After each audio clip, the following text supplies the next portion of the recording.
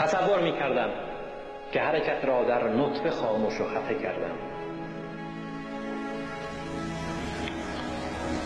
و تبلیغ می کردم که تمام شد.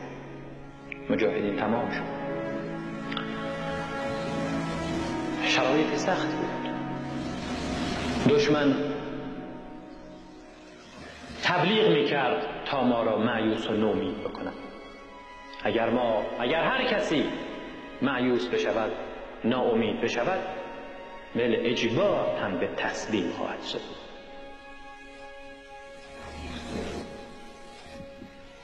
اما در هر صورت اون روزها گذشت. و ما دیدیم که فالزنی های رژیم به تحقق نپیوست.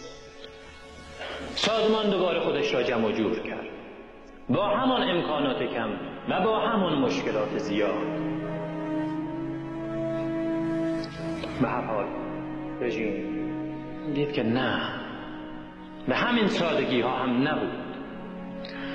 به همین آسانی ها هم نبود که یک حرکت چندین ساله را که بر اساس حق و حقیقت در راه خدا و خلق شکل گرفته بتواند از بین ببرد. به زودی زود سازمان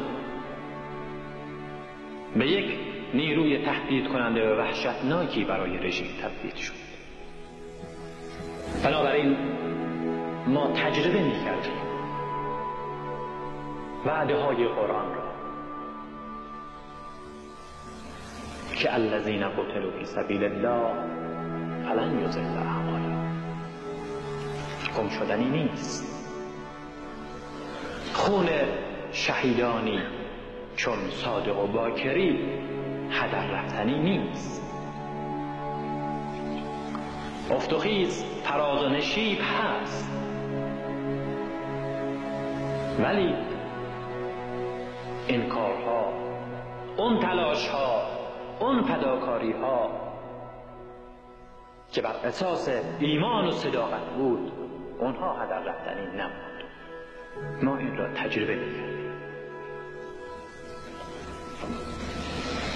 به هر حال روزها و سالها گذشت. شهدایی تقدیم کردیم. این لازمه یک انقلاب یک حرکت انقلابی است. مثار شهیدان مثار خون تقدیم کاروانی از شکنجه شده ها و زندانیان. لازمه حرکت انقلابی بود. هنوز هم ما به مقدار زیادی تاوان آن روزها را می‌پردازیم. تاوان آن مقاومت ها را می‌پردازیم که در آن روز کردیم به ما گفتن توبه کنید شما منحرفی. ما گفتیم نه.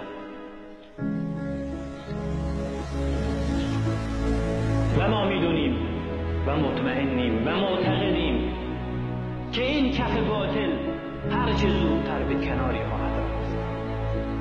اون روزا واقعا این ادعا خیلی ادعای بزرگی بود و اثبات اون هم خیلی مشکل بود. چون برعکس تمام واقعیات موجود ما همه چیزمون از دست داده بودیم ما از هر طرف زیر فشار. گفتم توبه کنید. آخه برای چی توبه؟ کدوم کار غلط؟ کدوم حرکت غلط در هر صورت اون روزها هم گذشت ما اون روزها به خودمون می‌گفتیم خب اگر ما حقیقتی و حقانیتی در کارمان بوده باشه اگر ما حرکتمون بر حق بوده باشه مسلما ما از بین نخواهیم رفت. نمی‌دونستیم هم چطور واقعا نمی‌دونستیم. ولی می‌دونستیم که از بین نخواهیم رفت. و می‌دونستیم که این مدعیا اونها از بین خواهند از بین نخواهیم رفت. دوباره سر بر می آوریم دوباره جمع جور از مواریسمون حراست می‌کنیم. از خون شهیدانمون پاسداری می‌کنیم.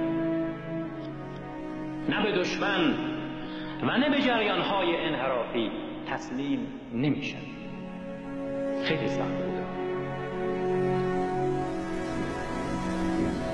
و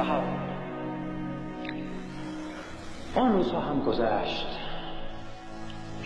و خیلی به خودمان مطمئن شد به ایدئولوژی. جریان امور و گذشت ایام و سالها این را باز نشون داد. بنابراین جا داشت که ما اعتقادمان هر لحظه عمیقتر و محکمتر بشه می‌دونید خدا که صحبتشو می‌کنیم. به عنوان خالق هستی در زندگی روزمره و در حرکت روزانه انسان نیست. باید ظهور و تجلی داشته باشه ما این چنین خدا را هم تجربه کردیم که بله پس واقعا حقیقتی در جهان وجود داره حساب و کتابی وجود داره. وگرنه چه دایه ای داشت که ما که آنچنان در واقع یک بار مرده بودیم دوباره زنده شدیم.